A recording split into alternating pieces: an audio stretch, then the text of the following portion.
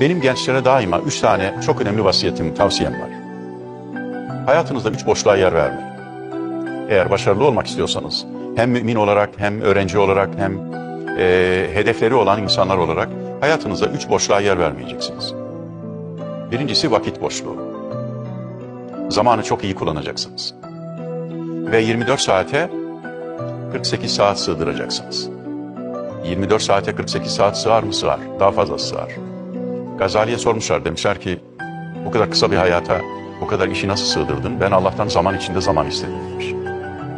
Esad bin Zürare'ye de Allah zaman içinde zaman verdi. Yanına bir de Musab bin Umeyr'i verdi. Değil mi? İkisi beraber Medine'yi Hazreti Peygamber'e hazırladılar. Öyle nice muhteşem örneklerimiz vardır bizim. Ee, ikincisi arkadaşlar zihninizi boş bırakmayacaksınız. Zihin yani bilgiyle, ilimle, hikmetle dolduracaksınız. Aklınızı boş bırakmayacaksınız. Orayı dolduracaksınız. O da okuyarak ve e, okumalarınızı şahıslar üzerine bina etmeden. Okumalarınızı şahıslar üzerine bina etmeden. Üç kitabı birlikte okuyarak zihninizi boş bırakmayacaksınız. Üçüncüsü kalbinizi boş bırakmayacaksınız. Kalbinizi de imanla, sevgiyle, muhabbetle dolduracaksınız. Bu üç boşluğa hayatınızda yer vermezseniz Cenab-ı Hak sizin ufkunuzu açacak, önünüzü açacak, başarılı olacaksınız.